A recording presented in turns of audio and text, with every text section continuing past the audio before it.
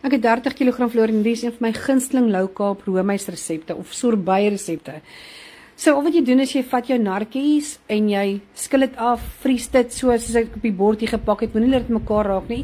Jy kan ook piesang gebruik en ehm um, jy kan ook arbei gebruik, basies enige vrugte gebruik.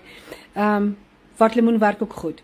So al wat jy doen is jy pak dit op jou bord, vries dit die vorige aand, haal dit uit en ehm um, gooi dit net vir in vir jouself in jou blender en dan gooi jy 'n bietjie melk by. Ek het gewone koeimelk gebruik, mense.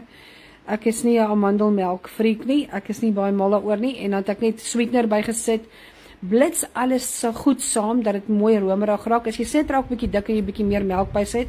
As jy nou die minder kalorieë wil hê, kan jy net water bysit. Ek weet nie of dit so lekker gewees met water nie, maar jy kan.